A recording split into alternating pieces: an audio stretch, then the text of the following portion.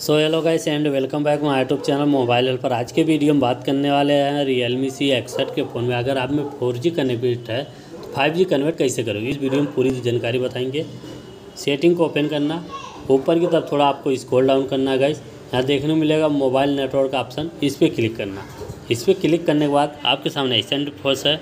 SIM one का option है। SIM one पे आपको क्लिक करना है या सिम टू का करना चाहते हो, सिम टू पे तब क्लिक करना।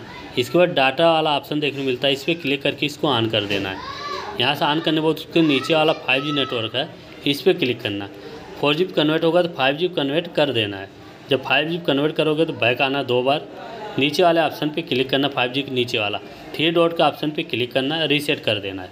यहाँ से रीसेट के नीचे वाले ऑप्शन पे क्लिक करके रीसेट कर देना है। या तो गाइस अपने फ़ोन को ऑफ़ करके ओपन कर लेना है। जो ओपन करोगे, अगर आपके एरिया में 5G नेटवर्क होगा तो आपके मोबाइल में 5G वर्क करेगी। 100 परसेंट गारंटी साथ गाइस